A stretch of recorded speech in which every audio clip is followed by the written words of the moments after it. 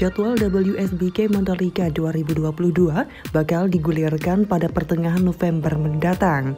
Toprek Raskat Lioglu dan kawan-kawan akan kembali beraksi di tanah air.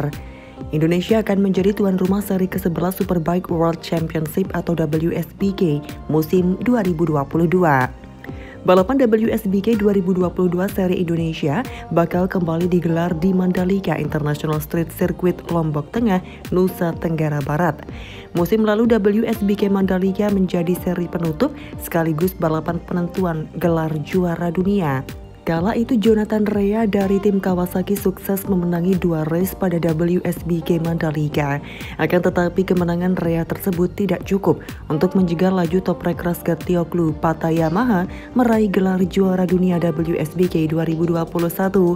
Tak hanya itu, kini Dorna Sport juga merilis kalender MotoGP 2023, walaupun sifatnya masih sementara atau profesional kalender tercatat ada dua sirkuit baru yang bakal menghiasi balapan, sementara MotoGP Indonesia akan digelar pada seri ke-16.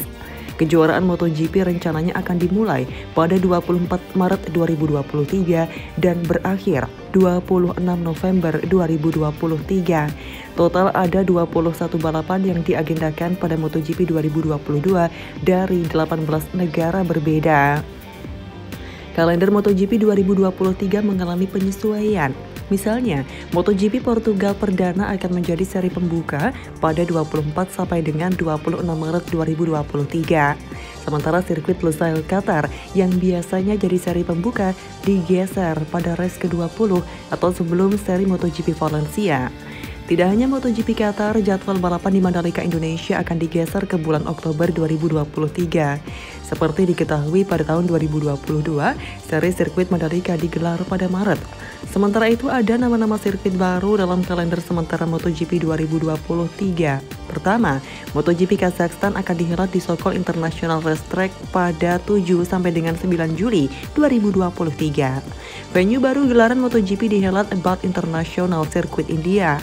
Sirkuit yang pernah dipakai ajang balap F1 itu dijadwalkan bakal dipakai menggeber motor pada 22 sampai dengan 24 September 2023. Berikut ini jadwal MotoGP 2023.